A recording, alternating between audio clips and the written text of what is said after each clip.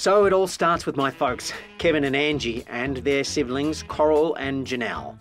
Janelle married Kim Timmins and had a bunch of kids, most of whom you've met. Coral married Barry Reeves, and as well as Tim, Jasmine, and Gemfish, they adopted my cousin Wayne, tadpole to you, and he lived with us for a while. Played a mean DJ set that took him on tour. Now, Big Kev Rebecchi's my dad. He married my mum Angie, and they just had a shoal.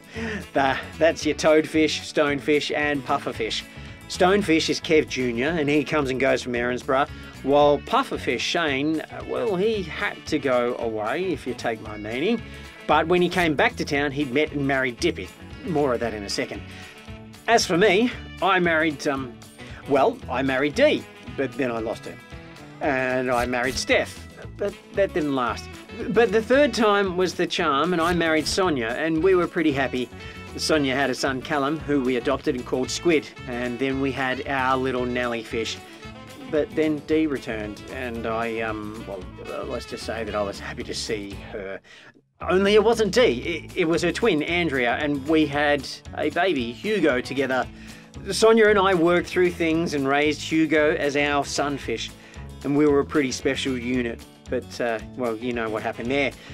She's sadly gone now, and, and since then the real Dee's turned up, and well, um, that's just a story for another day. So, Shane. Yeah, I'll take it from here, mate. I married Dipi, and alright, things are a bit complicated right now, but it's like that for everyone, I guess. Our kids are Yashvi, Jay, and Kirsha. We kept up the family tradition, so Kirsha's lionfish, Yashvi's clownfish, not that she'd want people down the station knowing that, and Jay is our barracuda.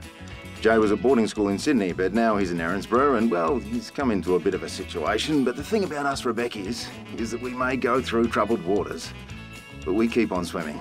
Yeah, yeah, we do. Family is important. Sometimes it's all you've got, and sometimes it's all you need.